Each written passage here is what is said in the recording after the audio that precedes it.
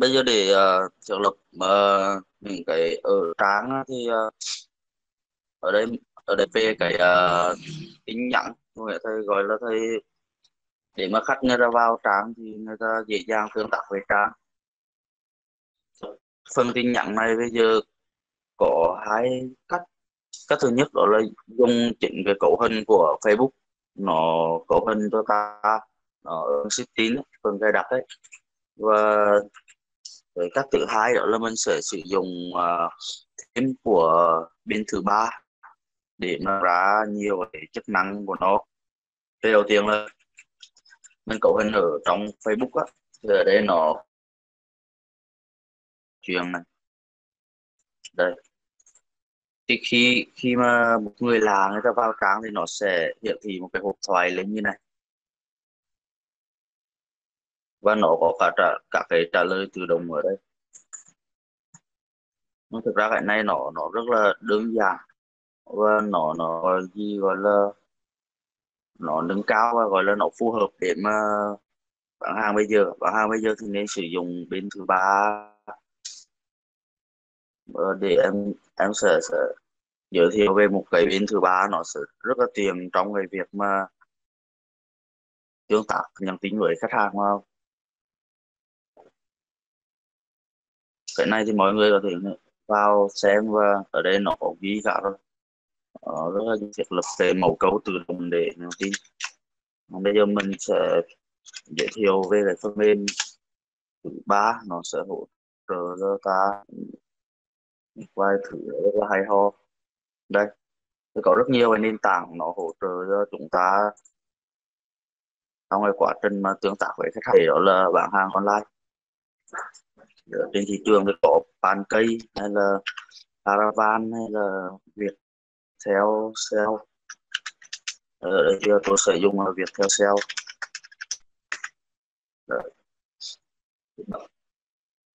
các bạn cứ vào để mà đăng ký khoảng như này. Ở đây thì nó hay ở cái này, tôi thích đó là theo nó cung cấp cho người dùng cái gói khởi nghiệp không đông cho nên mình có thể vào rất nhiều cái chức năng ở trong đó đây ở đây có một cái cái sẵn ở đây đó là bảng hàng Facebook thể ở đây cho chúng ta luôn ở đây nó đã liên kết cho chúng ta rồi. Nó liên kết cho chúng ta. Nó cho phép chúng ta liên kết rất là nhiều trang. Tích hợp rất là nhiều trang thì có thể có một lúc đấy một nhân viên họ có thể quản lý được rất là nhiều trang ở trong này. Đây phần uh, bình luận này đây là tin nhắn này phần này là phần bình luận này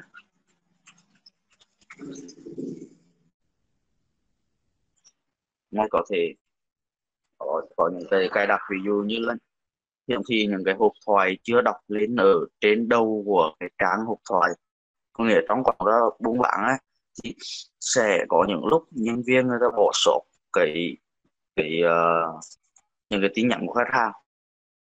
Đấy à, cho nên cái cái công cụ này nó sẽ giúp chúng ta đẩy những cái tin nhắn chưa trả lời lên đầu để chúng ta không bị sót một cái tin nhắn, không bị sót một cái đường hàng nào cả. Theo đó là có phải những cái chức năng ví dụ như tự động ứng thích khi trả lời comment.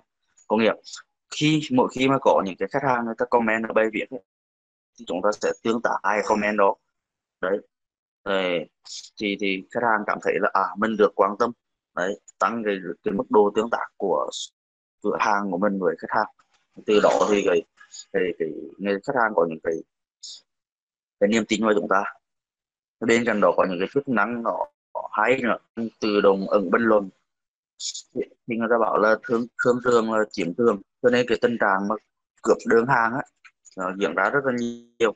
Cho nên khi mỗi khi mà có khách hàng vào bình luận á, thì cái chức năng này nó sẽ auto nó sẽ tự động ẩn bình luận đi để không bị những cái đối tượng shop những người ảo ấy là nó sẽ lấy thông tin của khách hàng và nó gửi cái đơn hàng đi. Thì mình bị cướp đơn hàng thì mình sẽ thiệt hại về kinh tế và uy tín. Thì cái này nó sẽ tự động ẩn bình luận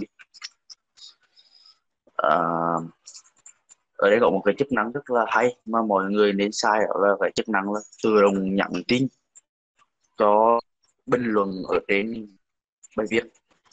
Thì ở đấy á, theo mặc định bình thường á, ví dụ có những cái khách hàng người ta bình luận bài viết thì thì nó Facebook nó, nó không có cái nó không có cái chức năng là shop sẽ tự động nhắn tin cho những người đó. Nhưng mà khi bây giờ cài cái, cái công cụ này á, thì mỗi khi có những khách hàng người ta bình luận ở trên bài viết chúng ta cài đặt thì cái cái fanpage của mình chủ động nhắn tin. Để làm gì? Để ngoài những cái tin nhắn khách hàng chủ động cho mình thì mình còn vét những cái khách hàng mà người ta quan tâm đến sản phẩm nhưng người ta chưa nhắn tin cho mình thì mình đã chủ động nhắn tin cho người ta. Bây giờ ví dụ bài như này thì tôi đã cài rồi. Đây tôi đã cài ở đây là bài thì có những cái, cái đây có cái chức năng trả lời tự động thì đã cài những cái mẫu câu như này.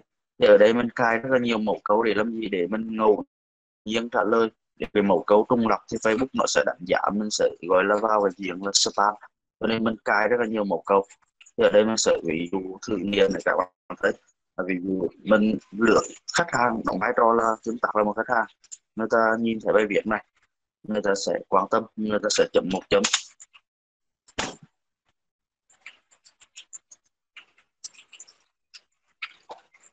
Đây, thì khi đó, fanpage nó sẽ chủ động nhắn tin nhầm theo cái mẫu câu này.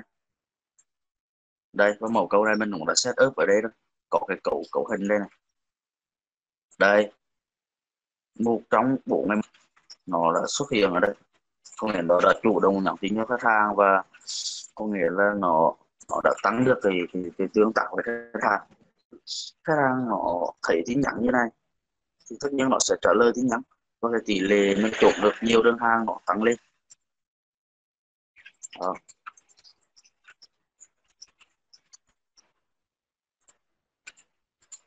rồi thì đó đó là, là những cái những cái về về cái uh, cái, cái phần nhắn tin ở trên fanpage sao cho nó hiệu quả.